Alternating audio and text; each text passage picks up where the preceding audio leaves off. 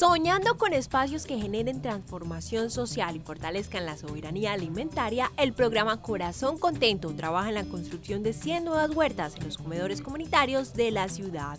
El año pasado logramos también eh, apoyar 100 procesos comunitarios y con estos otros de este año serían ya 200 huertas en los comedores. Algunas han sido construidas por nosotros, otros procesos ya venían y lo que hemos hecho es fortalecerlos. Con la caracterización de los comedores y una capacitación a los gestores y gestoras del programa, la alcaldía de Cali garantiza la entrega de los insumos y su respectivo acompañamiento.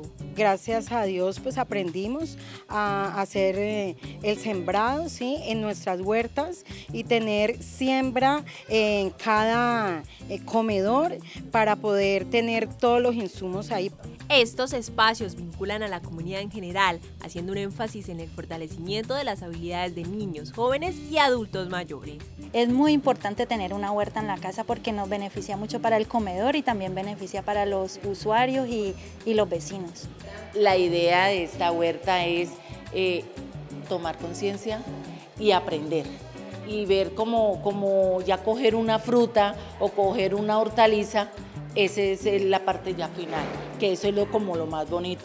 Finalizada la entrega de insumos en los comedores comunitarios, el programa Corazón Contento continuará trabajando en el fortalecimiento de estos espacios que integran a la comunidad.